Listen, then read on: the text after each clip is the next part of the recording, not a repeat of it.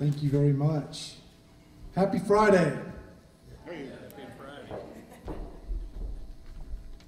It is my privilege to introduce to you John Seago uh, with Texas Right to Life. Uh, first of all, John is a husband to his wife Brandy and a father to two children Nahum, age six, and Sophia, age four. And uh, those are pretty great accomplishments in life, right there, aren't they? You could just stop right there. You know, uh, John is the legislative director for Texas Right to Life and has been involved in numerous battles in Austin, uh, one of them being House Bill 2 back in 2013, which was the one that you remember banned abortion uh, after 20 weeks uh, in most cases uh, due to fetal pain. And he was, he was very much involved in that. But you know, the way I want to talk about John uh, is this, is that when, when you're dealing with the issue of abortion, there are smart people that will come to you with tough questions and say, well, Representative Schaefer, have you thought about this scenario? Have you thought about this scenario and that scenario? The ones that are not just cut and dried and, and you're quick with an answer.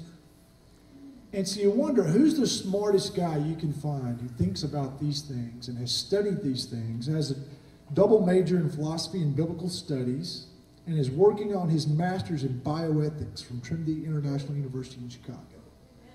You call John Seago. And when it comes to the tough questions, the tough ethical and moral questions, and somebody who really is a subject matter expert on the taking of lives inside the womb. You call John Seago, and he's going to come over and he's going to talk these things through with you. Uh, and he's got the answers. And I am so thankful for that. I know my staff relies upon him. Have you been in my office this week, John? Yep. Uh, and uh, is in the Capitol helping us on, on legislation. And so you need people who get up in the morning thinking about how do we stop the Holocaust that is happening in the United States and really around the world? And that's how I describe it. I am thankful that there are people who have dedicated their lives and their professional energy to this cause. Because where would we be without them? We're, we're laymen compared to, uh, to John. And we really, uh, I don't know if you do support Texas Right to Life and their efforts, but uh, get on their email list, get on their website. There is no other organization in the state of Texas that is bigger, that is tougher, that is more persistent, who doesn't quit and it doesn't compromise than Texas Right to Life. And I've been around the other organizations. I've been in the back hall meetings with representatives from other so-called pro-life organizations and watched their representatives um, just be very quick to offer up compromises when, when victory is at hand. And you just don't understand why they do it. But that's not Texas right to life. They're ready to go to war. They're ready to do what it takes to win the fight. And they don't go away. They don't go away. They're there every time we show up. And I look forward to working with them again when the session starts in January. We're already working with these guys. So, John, why don't you come on up?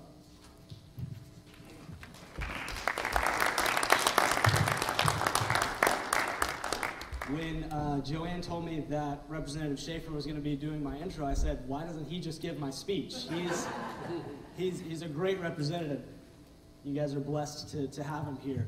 Um, I could do all the research, all the drafting, uh, and, uh, and get everything perfect, what the perfect law would be, the perfect arguments to make on the floor, but I've got to have an elected official to make those. I've got to have an elected official to actually be on the House floor, to offer the hard amendment, to bring up the hard arguments and answer uh, the anti-life forces, and uh, Represent Representative Schaefer is one of the, uh, one of the strongest voices we have uh, in the House. So very blessed to have him and give my introduction. So thank you. Representative, look forward to continuing the fight uh, in uh, just a few weeks. So again, uh, my name is John Seago. I serve as the Legislative Director for Texas Right to Life. Uh, I've worked with the organization for 12 years, And uh, I know a lot of you are looking at me and think I'm hardly 12 years old in the first place. Uh, but uh, I've been working for Right to Life for, for 12 years, and uh, Texas Right to Life did not violate any child labor laws when they hired me. Uh, everything was legal, you, you don't have to worry about that. Uh, I am blessed for this to be uh, my job. I have a lot of other roles, a lot of other jobs um, that I do on the side, but this is my, my full time job, and it is a blessing to be able to work in this movement with individuals like you and Representative Schaefer. So, one thing that Joanne asked me to talk about is priorities. That's a very important question is what are the priorities? We all could list hundreds of things that we want to see the government do, one things that we want to see the Texas legislature do, but what we have in Austin is a rat race. Starting in January, when the legislative process kicks off, there is this rat race behind me. You can see to get a bill from filing all the way to the middle there to the governor's desk. We have a conservative system uh, that is built to kill legislation. All of the great ideas that politicians come up with, it's easier to kill those great ideas than it is to get them to the governor's desk. And that is a good, that is a good rule, that's a good principle to shape our government around. However, when you're in the position like me or Representative Schaefer and want to pass some good legislation, it's very difficult. So the issue of priorities is important because the legislature is not going to pass all 30 to 40 pro-life bills that are filed. Every session, something, uh, you know, around 40 bills will be filed that relate to the pro-life issue. And they're not all going to pass. They don't all have an equal chance. We'll get three solid pro-life bills if we're lucky. Most sessions we get one. We get one good pro-life bill. So this question of priorities is important. There's a lot of pro-life bills uh, uh, that are going to be filed that don't necessarily uh, rise to the level of priority. Now, before uh, we do this, uh, Right to Life works on the research, we work on the brainstorming and the drafting of legislation before we even get to that first step of filing. So that's what we've been doing for the last two years. Uh, for the last two years, we've been working on, uh, even during the middle of the session, whenever representatives of last session, when representatives would have good ideas or ask us questions, we would start forming what we want to do this time. And so we do these ideas, these drafting, and um, whenever we're doing that, we ask two main questions. We ask first, where is innocent human life being threatened in our state? And second, what makes a pro life bill a priority? Now, on that first one, there are three categories of individuals that we focus on. We focus on pregnant women, we focus on preborn children, and we focus on vulnerable patients. And I'll talk about those vulnerable patients in a second. But thinking about pregnant women and preborn children, how do we figure out what a priority bill is? There's going to be a lot of legislation that is meant to help children, is meant to help pregnant women, but how do we know? Texas Right to Life has a system. Texas Right to Life has three criteria that we use to determine what type of bill on related to abortion should be a priority. And this is something that is unique about Texas Right to Life is that other pro-life organizations will just support whatever legislation their favorite uh, politician files or whatever legislation uh, a, a powerful elected official uh, is talking about. And they'll just jump on that train. Our organization doesn't do that. We first look objectively at what needs to be a priority. And this is what we look at. We look at, first of all, at the top, does that bill directly save lives? There is a lot of pro-life bills that sound good, that maybe even say and claim to the rest of the state that we're pro-life, but it doesn't save a single life. There's some of those have already been filed for this upcoming session. We also have to look at whether a specific bill moves the cultural conversation forward, whether it moves the cultural conversation in the right direction. As you know, as soon as a pro-life bill gets filed and is talked about, what happens? Well, you, you post up a link to that on Facebook, or you put it on Twitter, uh, or there's a news article about it, and what happens? Immediately, there are comments on that article attacking it. There's a cultural conversation that happens immediately, and this has already happened with the bill that Representative Schaefer's filed, is that there's a conversation around all of these bills. So as a movement, as the pro-life movement, we feel the responsibility to make sure we're filing legislation that moves that conversation in the right direction. That we're actually making the conversation uh, and helping our individuals who may not agree with us on abortion, making them ask the tough questions and consider uh, some of our strongest arguments. And the last one is whether a bill leads to final legal and judicial victories. That's extremely important because, as you know, the pro life movement, we are actually working in the shadow of Roe v. Wade. We can't ignore that. We can't go to Austin and act as if the Supreme Court has not said anything on abortion. We don't like what they said. I don't think it was constitutional. I didn't think they had the, the legal grounding to say what they said. But given the paradigms that we have now, we have to prudently engage. We have to challenge the Supreme Court very strategically to get them to reverse what they said in 1973. So let's just look at this. For example, uh, what if there was a piece of legislation that said we will allow pregnant women to use an HOV lane or a carpool lane? So you know when you get into Dallas, there is in a big freeway, there's always traffic, you're always backed up in traffic, and there's one lane on the side of the freeway reserved for carpools. For it's called the high occupancy vehicles. Okay? So we say if you have two people in the car, you can use that lane. Well, what if we had a bill that said we'll also let pregnant women use that lane? Now that's a pro-life idea. That's a pro-life bill, right? So it comes from a place of, okay, realizing there's actually two people in that car, the pregnant woman and her preborn child. So she, that's a carpool. That's two people in the car, right? Now that's, that's a pro-life idea. I'm not going to say that's not pro-life. We're recognizing the humanity of the child. But does this save any lives? Now some of you might have had the uh, unfortunate situation of sitting in Dallas traffic, and you might think, well, you know, that would save some lives. Maybe a pregnant woman would want to uh, wants to use that lane instead of sitting in traffic. I doubt it. I doubt that a pregnant woman facing an unexpected pregnancy would say, Should I have this abortion? You know what? I think I'm going to continue in the pregnancy so I can use that carpool lane. I doubt that she's going to think like that. So that bill might not save Drex. Now, I just came from Dallas. Don't get me wrong. The traffic is terrible. Um, does it move the cultural conversation in the right direction? Well, yeah. You get to say there are two people there, reminding our audience, reminding our Facebook friends and Twitter and the media that there are two individuals in that car. The preborn child has humanity. The conversation doesn't really go further than that, but it's a good, it's a good opportunity to reinstate that truth. And then the last one is a allowing pregnant women in the uh, carpool lane. Is that going to overturn Roe v. Wade? No. It's not a serious enough bill. It doesn't have uh, criminal penalties. It's not enough to actually challenge the thinking and the logic of Roe v. Wade. Pro-life bill, it's not going to be one of our priorities. It's not going to be something that we rally the grassroots to go talk to your, your uh, representative and senator about making sure we pass this legislation, that this is our one pro-life bill. Good bill, not a priority. Another one might be to raise the penalty on pregnant women who ingest illegal substances. So it is a real problem pregnant women taking, uh, taking drugs. That affects not just her health, but it affects the health of her preborn child. We see that some children are born addicted to drugs and they have to immediately after birth have to go into therapy to actually be weaned off of illegal substances because of decisions of their mother.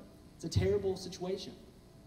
Well, some representatives have said we need to raise the penalty on pregnant women that take drugs that do these illegal activities that affects the child. Okay? It's a pro-life bill. We care about the woman's health and the preborn child's health. Is it going to save lives? Well, we've seen the effectiveness of raising penalties, uh, the ineffectiveness of raising penalties in drug use. We see in other situations of public policy, when you raise a penalty on an illegal substance, the use does not go down. And when you have addictive behavior, that's not an effective way to treat. It is effective to have more counseling, more services available to these individuals, that would be more effective. Another thing, what does that do to the cultural conversation? Well, that gives the media their headline because then they get to say that pro-lifers literally want to lock up pregnant women. And that's what they say about us anyway. So with that bill, it would be imprudent for us to stumble into their talking points, to file a bill where they get to lead the cultural conversation. And then that again, that doesn't lead to overturning Roe v. Wade. So this is uh, the, the criteria. This is a tough criteria that we use to make sure every bill we support is going to live up to these, uh, to these standards. One bill that we think does lead up to these standards is something that's going to be a priority for us in this upcoming legislative session. Um, and it's built on this, this last point, sorry, this, this last leading to final legal and judicial victories. That is extremely important. That is something that a lot of pro-life organizations, even national pro-life organizations, don't think about. We have to look at our goal of overturning Roe v. Wade. We have to stop this injustice of elective abortion by challenging what the Supreme Court has said. Now, we can't just say we disagree with Roe v. Wade. We have to prudently present arguments. We have to prudently push the line, undermine the logic that the Supreme Court has used to get there. In 1973, the Roe v. Wade, uh, Justice Blackmun wrote this. He said, if the state is interested in protecting fetal life after viability, it may go so far as to prescribe abortion during that period, of viability, except when it's necessary to preserve the life or health of the mother. This was the beginning of a crack that we are now pushing on. This was the beginning of a crack in the foundation of Roe v. Wade that ever since has begun to get bigger and bigger. You know how a crack in your foundation works. If you ignore it, years later it's just getting bigger. You're going to have big problems. And that's what we're hoping with Roe v. Wade as we keep putting the pressure on this crack. Because what he's saying here is that legislate that states do have an interest in fetal life. It's not just women's health. It's not just the safety of women or reproductive justice.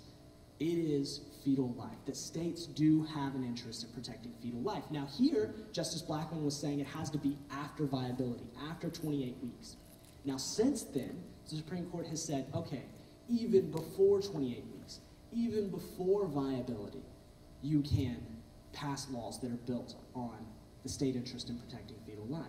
So what we have, when we pass legislation, pro-lifers, we have two options. We can pass legislation that's meant for the life or health of the mother, or we could pass legislation that is to build on our state interest in fetal life.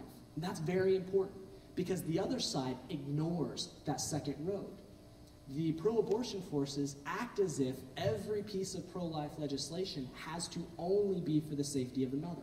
That is not true at all. Supreme Court has said we can pass bills that are meant solely to protect preborn children. They do not want to admit this. Our opponents, Planned Parenthood the, and uh, NARAL, will never uh, acknowledge this. Because as soon as you start thinking about that, that states have an interest in our progeny, we have a state interest in preborn children, the game's over. We can start passing life-saving legislation.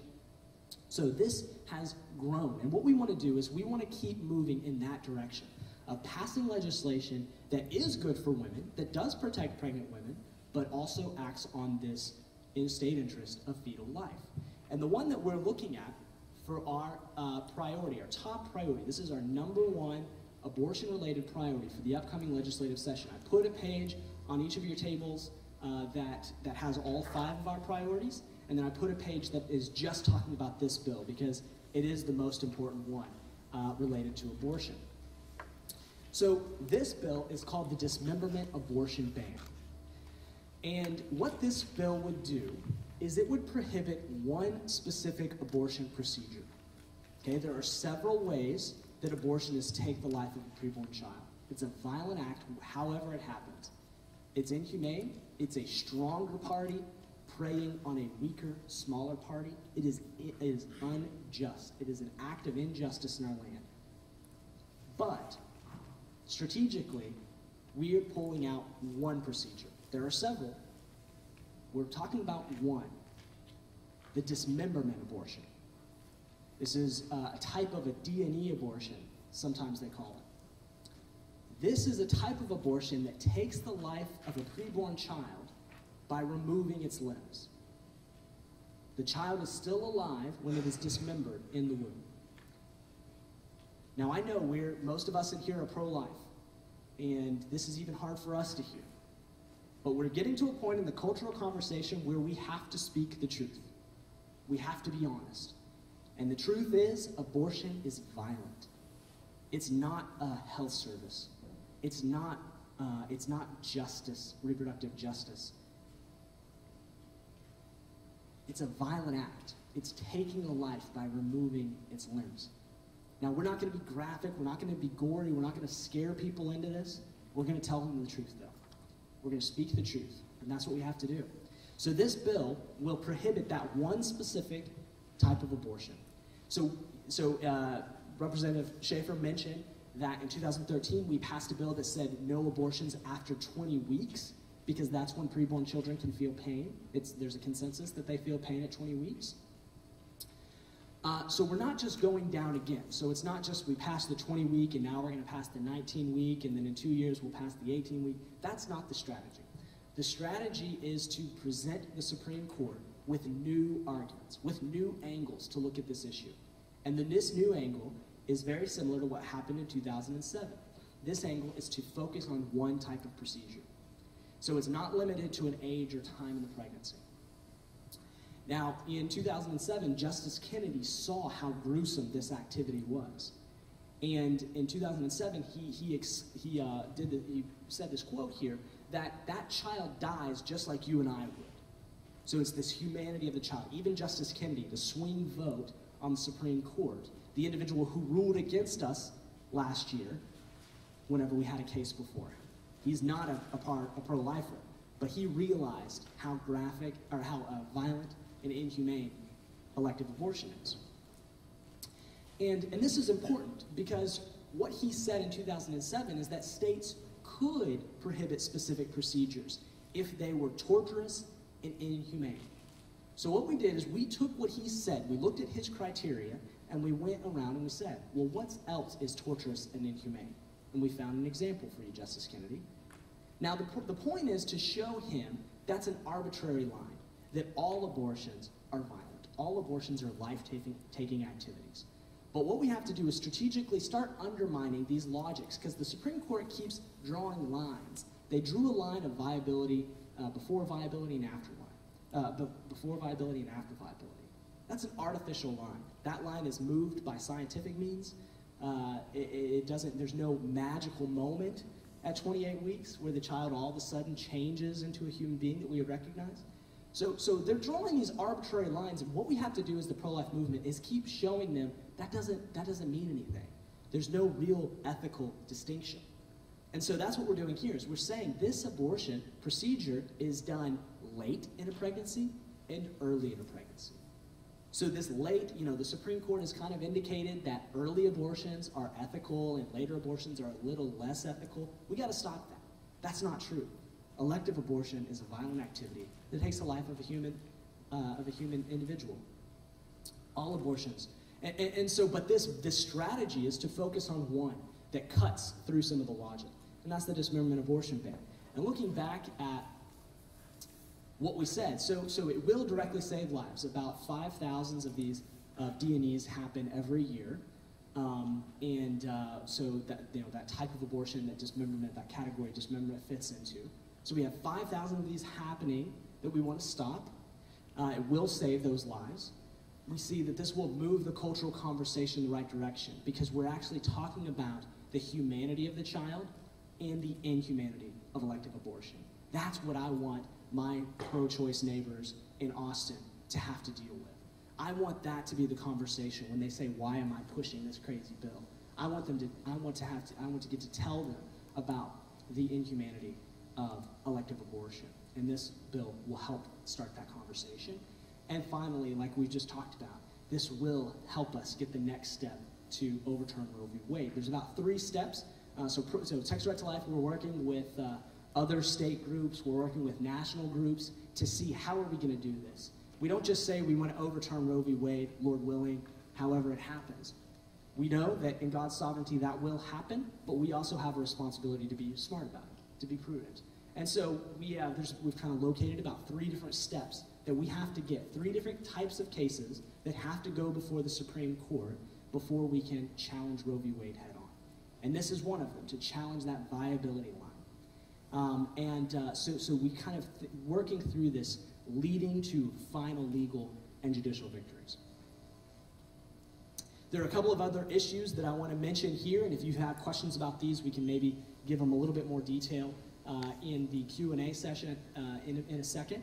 Um, but first of all is uh, pro-life insurance reform.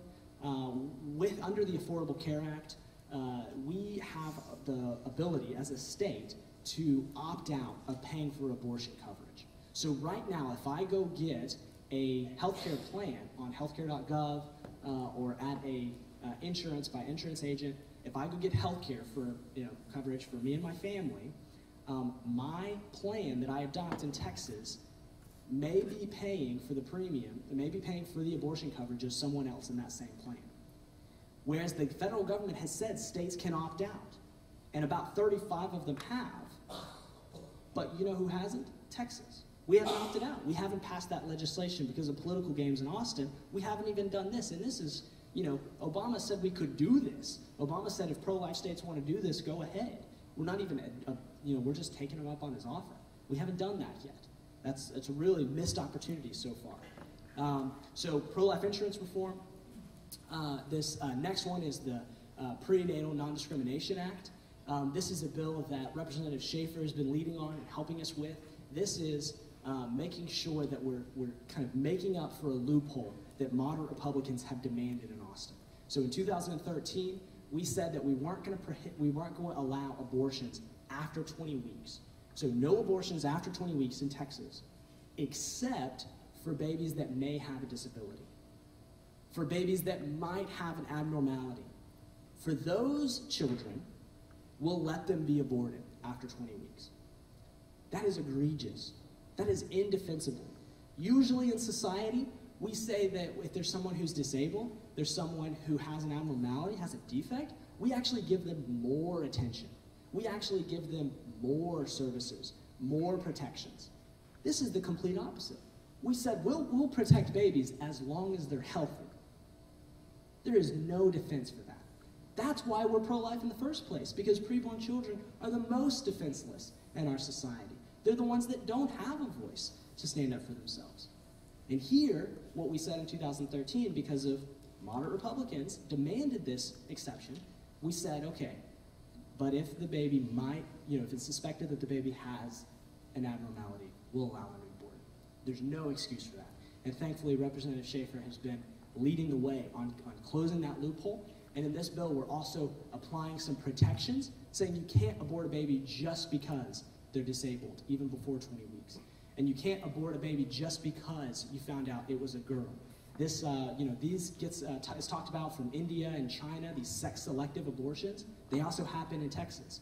Um, abortion clinics talk about this all the time. So, so what we have here is non-discrimination. We're going to say that would be a discriminatory abortion if a woman is going to have uh, to take the life of this innocent child because it's uh, because of its gender, because of its race, because of a disability. And also, this has some uh, ways to get more services to these families that might have a disability, that their child really is going to, uh, you know, has a, an abnormality. Uh, we want to make sure that they have access to the social services, the counseling, and the medical services like perinatal hospice to help these families through this hard time. Um, I've had several friends that have, uh, that have had uh, various situations or prospective situations like this, uh, and they needed help. And as a state, there's a lot we can do for these families. Uh, and so that number two is a, is a, bill that's close to our hearts that we're going to fight hard for. Uh, and then we have the abortion coercion prevention. We see, we hear story after story of women in Texas who were forced to undergo an abortion, who did not want to have an elective abortion, but their husband, their boyfriend, parents, uh, there's even a story out of Corpus Christi about a volleyball coach forcing a student who he had an affair with to have an abortion. These are forced abortions. Well, the other side says it's her body, her choice. It should be up to the woman. They're pro choice, right? Well, wouldn't you be surprised they don't support this bill? Wouldn't you be surprised that they don't want to add protections for women that would like to resist that pressure to have an abortion? Odd, huh? So, so that's one that we're, we'll definitely be working on. And then this last one is alternatives to abortion funding. A lot of times the pro-life movement is seen as the no movement. No, we don't want you to do that. No, we don't want you to have this. No, we don't want you to, to have that procedure. Uh, this is another way that we're saying yes. we want to give these services to women. So we have a network in Texas called the uh, Texas Pregnancy Care Network of social services that come in and help women um, who are have an unexpected pregnancy or uh, are new parents and need some social services, need some assistance. And uh, there's some great uh, pregnancy centers, adoption agencies, maternity homes, and social services offices in this network that help those women. You have some here in Tyler that are involved in this program, and they get some government reimbursement for the ministry that they have to women who are in these situations. And so that's a way that we as a pro-life movement can say, yes, we want to come alongside those pregnant women and new parents and help them uh, uh, for choosing life and after they chose life. So those are some of the returning issues. Uh, and then I will add uh, two more. Let's see, I can't really see what time it is. Oh, we got plenty of time. Okay, so there is one other side of the movement we talked about. So I, at the beginning, we looked at where is innocent human life being threatened. So we talked about pregnant women, we talked about um, preborn children, and this last category that people usually don't think about is vulnerable patients. Vulnerable patients. So patients in a hospital that are being taken advantage of. Individuals in a hospital or medical uh, facility that need protection. What we're doing as a pro life movement, and we have all of these principles that lead us to protect preborn children and pregnant women. Those same principles, what Texas Right to Life is doing, uh, is applying those same principles to medical ethics, to how our doctors and hospitals treat patients. And the biggest problem that we've seen in Texas is that at the end of the day, patients and their families are not the final authority on important medical decisions. So, what we have in Texas, we have a uniquely bad law called the Texas Advance Directive Act. And this is listed on the five priority bills on the, on the, uh, the handout that I put on your table. One of the handouts has the five bills that we're going to prioritize. Number two and number three are what we're talking about now. Number two and number three, these are areas of state law where the pro-life movement needs to uh, add protections for patients. So in Texas, we say that not all the time are patients and their families the final authorities when it comes uh, to these important medical decisions. So one example is the do not resuscitate orders. Uh, most everyone in here knows do not resuscitate order is a, a, a file that you put, in, or it's a sheet you put in your medical file if you don't want CPR, or if you don't want intubation, or if you don't want the paddles. Okay? This is a, a document to tell your hospital, to tell your physician what treatment you do not want. Okay? Now, there are appropriate times to have a DNR. Um, there's a good discussion of when it's appropriate, when it's inappropriate. That's not what we're talking about. We're talking about who decides whether you have a DNR. Now, Texas Right to Life, we serve as patient advocates. We help families around the state that have conflicts with their hospitals or with their physicians. And what I've seen um, is examples where I go to the bedside to help talk to the family about a conflict they're having with the hospital. I go there and I start looking through their file, and there's a DNR. And I pick it out and I ask, you know, the, the wife, uh, or in this case, the mother of a young boy, I asked, was like, when did you sign this? You know, what was your thinking behind this document? Because it doesn't seem to line up with what I'm hearing you say. And she said, what is that? I said, this is a do not resuscitate order. This means if he uh, needs paddles, if he needs CPR, if he needs uh, intubation, medical attention, if he has cardiac or respiratory uh, arrest, he, you know, he won't get it. He'll pass away. And she said, well, I don't want that. I, have never seen that document. I said, are you sure? Was it, you know, in a big pile of paper? And she said, it's bright pink. I think I would notice it. So, so what you had was a DNR on a 12-year-old boy in Fort Worth that the mother had no idea who put it there. And it ends up, we confronted the doctor, and the doctor said, well, it makes sense that they would want this in this terrible situation. Well, it might make sense to him, but nobody made that decision for this 12-year-old boy. The mother definitely didn't make that decision. So that's the type of abuse that I'm talking about, is this is a life-ending decision, a very important medical decision that sometimes is appropriate, uh, but it's got to be the family and the patient making that decision. And we don't have that in Texas. Texas law is silent on how we handle do not resuscitate orders in hospitals. We have good laws about in a nursing home or at a senior facility or even at your own home if you have a DNR on your refrigerator. We have a lot of good laws about those. those kind of contexts. But as soon as you walk through the hospital doors, Texas law doesn't tell hospitals what to do. So hospitals are taking advantage. Now, not every hospital. There are good hospitals. I know, you know, a good one around this area. There are good hospitals. There are good physicians. But we've seen abuses. We've seen a lot of abuses in Texas. So that's what I'm talking about. Applying these same principles. We value every individual human life. Taking that same principle and applying it to someone in a hospital bed. Applying to someone who's trying to make life or death decisions at the clinical level.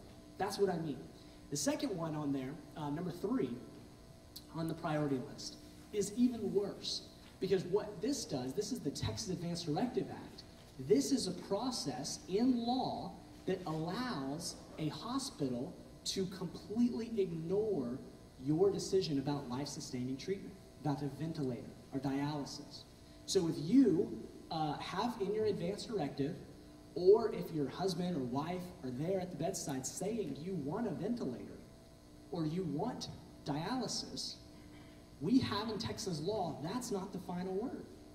That Texas hospitals and physicians can go through this legal process and at the end of it give you 10 days and say, We disagree with you, we met about it, we invited you to the meeting to come, you know, make your case. Now you have 10 days to get to another facility, or we're just cutting off the treatment. It doesn't matter that you put in your advance directive that you wanted the ventilator. It doesn't matter that your wife, who's your medical power of attorney, was there saying to keep the ventilator on. None of that matters. Texas law says we can do this. And that's what we've seen. We've seen abuses of this. Uh, actually, we've seen just not even abuses, just them using this process. You put it in law, they're going to use it. So this has been in law since 1999, and we've seen cases where you had somebody written in their advance directive, they wanted the ventilator, and a hospital still used this process. And, uh, and it's, it's completely unethical. There's no, no justification for this. I can understand some of the, the conflicts that we want to avoid at the clinical level, but there are better laws. There are more ethical ways to handle this. Texas is unique in having this approach uh, of a process. And at the end of the process, you can't go to court. You can't file, you can't uh, file a malpractice suit against that physician. There's no administrative penalties. He can't go before the Texas Medical Board. There's no criminal penalties. He didn't commit homicide, even though he ended someone's life against their will. So, so it's an egregious law. So this is what I mean by applying those same pro-life principles that make us uh, just abhor elective abortion, applying those over to medical ethics. And people don't think about that when we think about the pro-life cause. But this is a very important issue, and this is a political hot topic in Austin, as you can imagine, because my opponents in this debate are the Texas Medical Association, the Texas Hospital Association. They want the authority.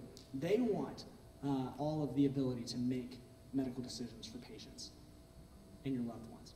So this is a law that we've been trying to work on since 2004. It's politically confusing. Uh, there are pro-life, there are groups that, that claim to be pro-life that support this law, that defend this law. And, uh, and, and so it's a, a very tough political fight, but it's one that we can't give up. It's one that we can't let down. So that's why on the priority list, it's number two and number three. These are very important issues, and we have to make progress in this. Texas is unique, and other states are looking to Texas as a solution. Okay, looking at Texas, is this process working? Now, thankfully, other states are saying, oh no, it's not working. Oh no, it's not a fair process. It is unethical. There's not an appeals process. There's a lot of abuses in this. So thankfully, other states are not adopting our example, uh, but we are, we do have this, uh, this egregious law. So uh, let's go ahead and open it up for some questions I can expound on, on these medical ethics issues, uh, or go back to some of the abortion-related topics. Um, if you have uh, a question, write it down on the card, and uh, we'll go through here, and I'll just, as you're collecting those, I'll put this up. Um, Texas Right to Life, we are a nonprofit organization, so we do run off of the generosity of supporters and pro-lifers around the state. Um, you can get on our email list. Uh, you can find us on Facebook uh, Twitter there, or just email me directly if you have any questions or comments or suggestions about legislation. Uh, you've got a pretty good representative uh, here, Representative Schaefer, so you don't have to email me asking about his record, but maybe you have uh, questions about other records of elected officials around the area. Definitely, uh, definitely help you out there. We have a scorecard at TexasRightToLife.com, and at the end of every session, we do rate those. Uh, we do we do rate the votes. So you may have a busy life. You don't have time to sit there and watch every vote that they take. Uh, so we do the, the homework for you. We show you whether these elected officials were holding up their promise to be pro-life uh, or, or actually compromising on, on their values. And so we have that. You can find that at texasrighttolife.com. So do we have any questions? Yes.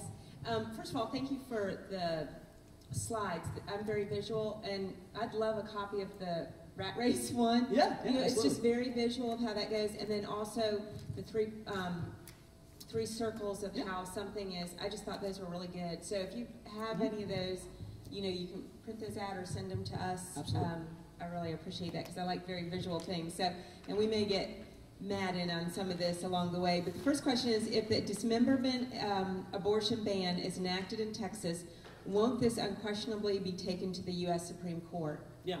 So this is one of the arguments they had about the 20-week prohibition. So in 2013, when we passed uh, House Bill 2, it included several provisions, uh, and it included this 20-week prohibition. And even a pro-life organization, an organization that says their goal is to end abortion in Texas, they were going around the Capitol saying that 20-week prohibition was unconstitutional.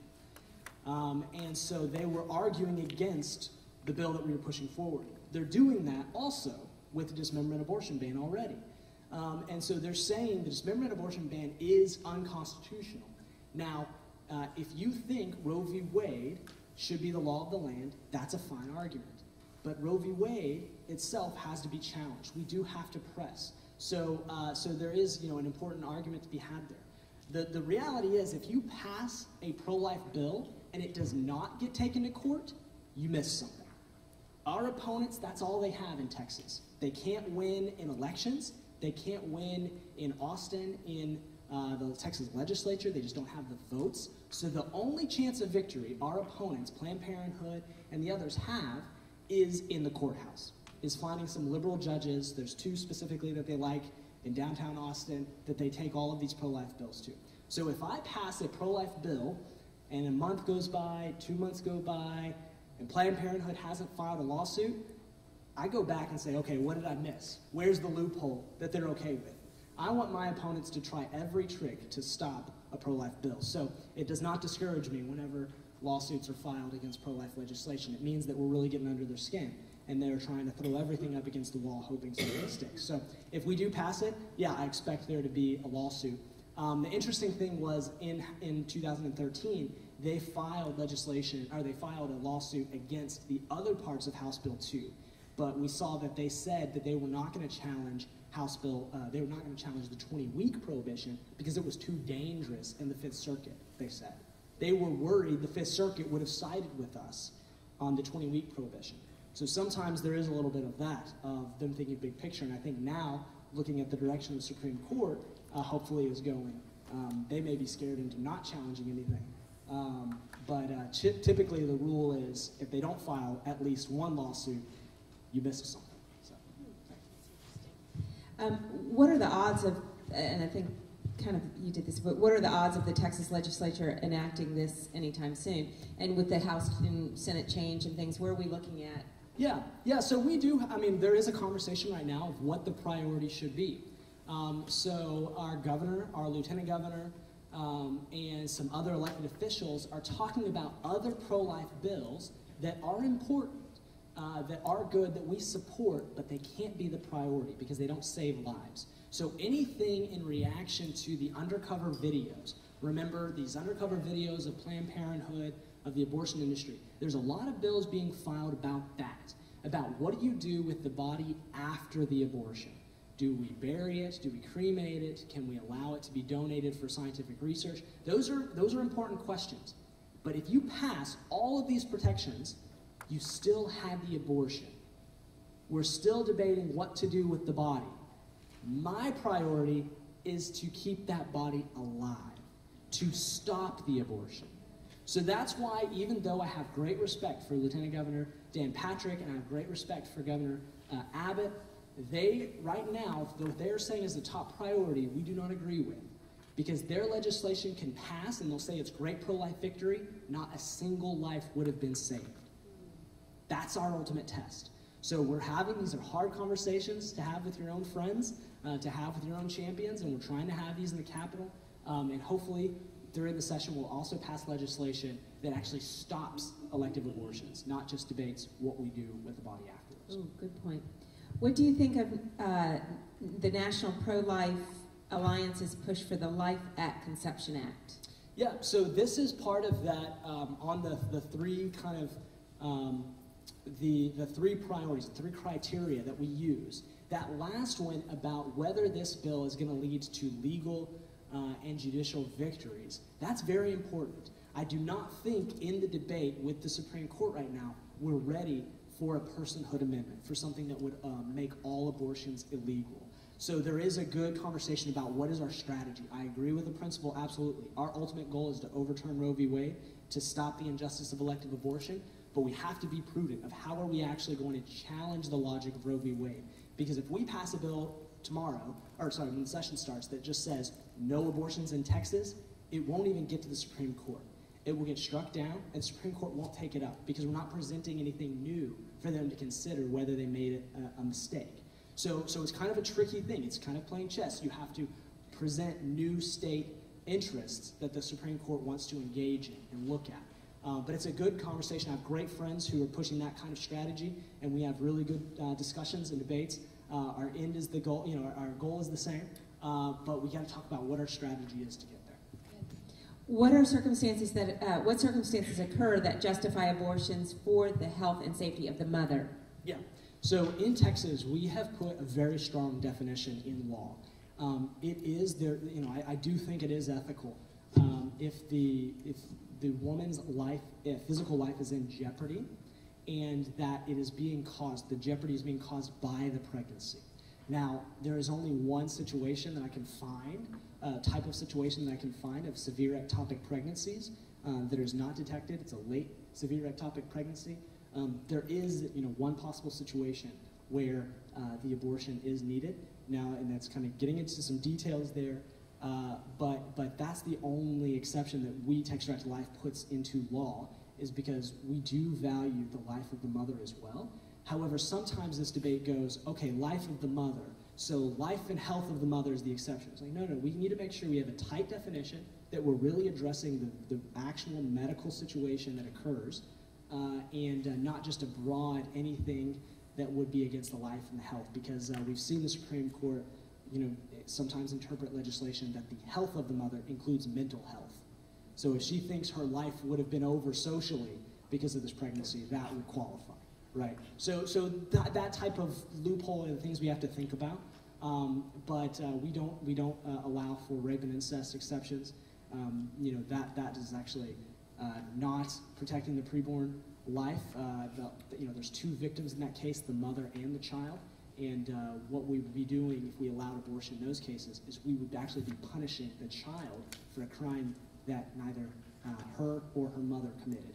It was actually the scumbag um, that abused, that assaulted the, the woman in the first place. So um, very real, you know, very uh, hard issue, but we have to focus on the principles, even those are very emotionally difficult situations. Scumbag is a technical term? Yes, yes, sorry. I'm just teasing. Um, there are four right to life groups in Texas. Only one is good, three are horrible. Uh, similarly, there, along with scumbags, similarly, there are other groups in Texas. How do we know which ones of these are good? Is there a rating for um, these? For the rater, we're confused. Yeah, so yeah. Do so those get rated? Um, it's kind of like who fact checks the fact checkers kind of thing. Um, no, so so what I would recommend in this is go to a representative, uh, to a senator that you know, that you trust, um, who has integrity, who uh, you believe has the character to distinguish between uh, who is actually doing good in the Capitol, and ask them. Um, and thankfully, you have a lot of good representatives, good senators around this area. Uh, Senator Hughes is a good friend of ours. Um, he's been in the Capitol long enough, just like Representative Schaefer, uh, to see who the bad actors are to see who's actually, you know, in the back halls undermining your values and your intentions, even though on the campaign they said these were their principles and their values. So I think that's the best way to do it, um, to ask them. And uh, I can, um, you know, there, there, are reasons I, I can talk about other organizations that I like that I don't like. Um, there are a handful of organizations uh, involved in the Capitol that I trust. Uh, and uh, Joanne is one of them. She represents you very well in the Capitol. um, and she has a reputation for it. Uh, and uh, so, you know, Texas Values is another good organization that we work very closely with. Texas Eagle Forum is a great organization that we work with. Concerned Women of America and Texas Homeschool Association uh, and Empower Texans. Those are really the only organizations that we can trust uh, that believe that we think are on our side uh, in this battle. And uh, so, unfortunately, uh, that's a difficult question, but I would ask a representative or elected official you trust. I think we've had all of those here within the last, definitely the last Yep. year, so we're on board. Um, this kind of goes along with that. Who are the supposed pro-life groups uh, that are supporting abortion? Well, it's an opposite question. Who are the supposed pro-life groups supporting abortions? Who does that make? Who are the supposed pro-life groups? Yeah, so- supporting so, uh, abortions? So, so there are other organizations, and you can just look at their endorsements. You don't have to be uh, behind closed doors to see. Um, we see that organizations like Texas Alliance for Life, organizations like for um, Texans, uh, for Life Coalition, um, and the Heidi Group. Um, these are organizations that are endorsing candidates that have publicly argued against pro-life amendments on the House floor. So these are matters of public record. Um, Representative Schaefer offered a very needed, much needed, strong pro life amendment, and an, a, a Republican who claims to be a pro life champion got on the House floor and gave a speech against Representative Schaefer's pro life amendment, saying, vote this amendment down, this amendment that would save lives. Then these other pro life organizations, these three pro life organizations, endorsed that individual who says he's pro life, a pro life champion. So, so these are issues of, of public record. You don't have to have any insider knowledge or any secret tape, videotape about what's going on. But again, I would refer you to, uh, you know, to elected officials that you trust to kind of be able to distinguish between who's actually working for you and who's working against you. We're going to ask a few more. I'm just going to uh, remind you that Kitchen said they have seven sandwiches left, so they will be uh, selling those at a good price to take home uh, a late lunch or dinner tonight, just to let you know that. Um, do you know the status of the uh, insurance of the Dr. Gosnell film or the issuance of Oh. the Dr. Gosnell film? Yeah, so there was a great. Um, there's been there's been two or three great documentaries about Kermit Gosnell. The one, uh, the most recent one, I think it's called 1301 Lancaster. Is that the right numbers? Uh, so it's a, it's a great documentary about Kermit Gosnell, an abortionist who um, was discovered to have been violating laws, um, to be just terrible abuse of um, preborn children, uh, actually taking life of preborn children after they were born alive, and uh, actually having such a terrible clinic that um, several women were harmed. Uh, one woman actually passed away because he wasn't following accepted medical standards and uh, in his clinic. And so uh, it's, a, it's, a, it's a hard, obviously a hard documentary to watch. Uh, it doesn't hold anything back, um, but it shows uh, you know, the, the kind of story of Kermit now and some of the low safety standards around the country that the pro-life uh, movement is concerned about. Yeah, but what about the release of it? They're, they're having some difficulty getting it released, and they're thinking about financing the promoters. Okay, I'm not sure about that. So 1301 Lancaster, I know they've had a couple of hearing, I mean, a couple of screenings around the state. Um, unless you're thinking of a fourth. The most recent one, the crowd-funded one that started about three years ago. Okay, was- well, I'll have to, I'll have to follow up about that. I might be speaking about the wrong one. What are your top uh, three most common pushbacks you get to your pro-life effort? So what what's what Yeah. pushbacks from? Yeah, so so we have um, we have enough Republicans in both chambers that we should be able to pass anything um, without you know even though the Democrats oppose us. So so we have enough Republicans in power that we should be able to pass all five of the bills that I put um, on your table. So so the opposition I get is from Republicans. It's not from Democrats. It's not from individuals who claim to be pro choice. It's actually from individuals who claim to be pro life. And the pushback I get is, oh, these are hard votes. Oh, you know, we've been talking about abortion too much. You know, uh, oh, there are more important issues in the state like infrastructure, like school finance, uh, you know, water issues. Those are important issues. Good governance. That, that's what you elect your, your representatives and senators to do. However, in a building run by Republicans, there is enough time to make sure that we're protecting the most weak among us and making sure that we're at good governance of keeping the state running. Um, so, so I get those kind of more excuses, um, not really arguments. They don't argue with us. They can't argue with us. They say they're pro-life. Very rarely is a Republican that will look you in the face and say, "I just don't agree. We should stop abortions." Uh, that there's only, that's only happened. Uh, that only happens right now with one office. They're open about that. Most Republicans are like, "Yeah, I'm with you, but you know, what about the Supreme Court?" Or, "Yeah, I'm with you, but we've been talking about abortion a lot recently." Uh, let's let's not you know let's not keep bringing this up. That's more of the kind of excuses that we hear in the Capitol. Um, we're going to wrap it up with just a couple more things. Just a reminder: take your sheets. Uh, books are ten dollars or two for fifteen. Sandwiches, and next time you come, it's at eleven. So we don't want to um, do that. And then Biff's at the back for, with the box. Do you have the little lapel, the little feet lapel pins? I, uh, yes, I have a few in the car. Okay, there you go. Yes. All right. All right. Um, last question, and I was hoping we'd get around to this end of things, and I may need a little clarification, but is it simply economics and money that the egregious Texas law um, is hinged? Or, and let me give you the example. Um, staying on a ventilator for with a terminal illness, who pays for it? Um, and if it is not practical, not insured, and un, um, and ultimately the hospital.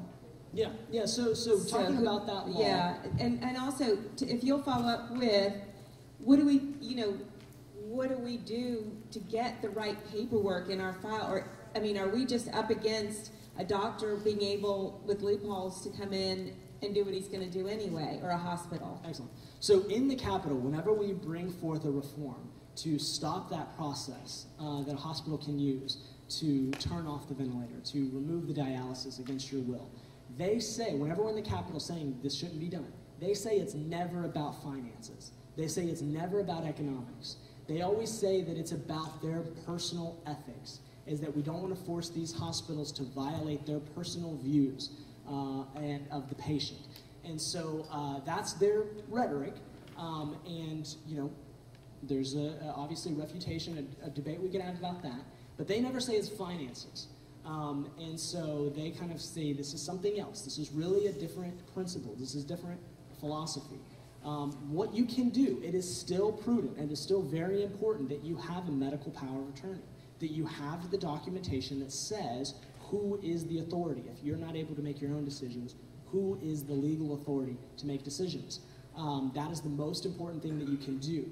Uh, advanced directives are great that outline kind of your wishes. Uh, that's not as useful as a medical power of attorney who knows you well and knows the kind of things that you want and don't want. Uh, so that's the best thing you can do, and that gives you the best chance. If you do get into a conflict with the hospital, the hospital says you shouldn't have a certain treatment or is trying to force you into making a decision you or your loved one don't approve of, um, you, there are patient advocates in the state that can help you tread that, that can help you go through that process. Texas Right to Life is one of them. You can contact us. We have patient advocates around the state that come and help families communicate with the hospital and maybe even transfer to another facility that will listen to you. Um, and uh, we have those, and so that's kind of the most the most important thing. But you still it is still important to use medical power of attorney because most hospitals in the state uh, are going to first listen to to the decisions you make. There are a couple of bad actors that give the rest a bad name uh, that are really imposing their values and their ethics on patients and patients' families. And uh, you know, but but ultimately, it's it's definitely good to have those. Well, and I, I think that, I know for me, a lot of us think of right to life as the unborn and things, and when you Yeah. swung into, the, I mean, we just forget about the other end of our lives, um, and so thankful that y'all are there for that. And I know John, our speakers are always so gracious, stay, stay afterwards for questions, so please feel free to take a few minutes with him before he heads back, and I think Rick's gonna wrap us up. John. Was telling him how much we appreciate it. Thank you so much.